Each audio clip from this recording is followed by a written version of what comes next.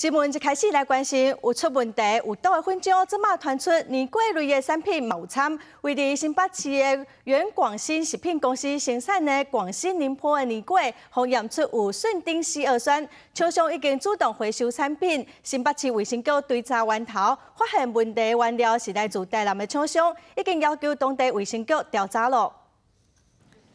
市面上的甜粿也被验出顺丁烯二酸，通关卫生局在超商通道检验出原公兴食品公司生产的公兴零铺甜粿有顺丁烯二酸，随且食品公司所在新北市进行调查。新北市卫生局去伫酒店这间原公兴食品公司稽查，查封本地甜粿，发现本地淀粉来源可能就是。产品内熟食淀粉或者是。含脂粉。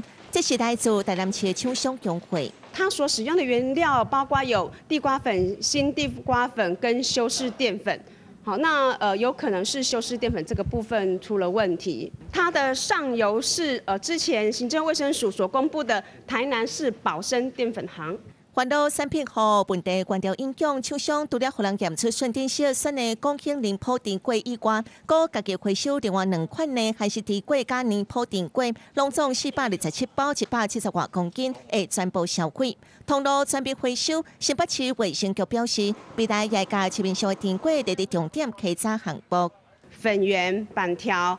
哦，肉圆哦，然后还有呃宁波年糕等等，只要是有不合格的，我们都会把它列为重点稽查的项目。专台卫生单位继续查测毒淀粉，三十号由卫生单位向卫生署汇报，发现市面上蚵仔整粉加十粒米粉内边有顺丁烯二酸，目前产品都回收停止换备，不过也未查出罐头厂商。记者综合报道。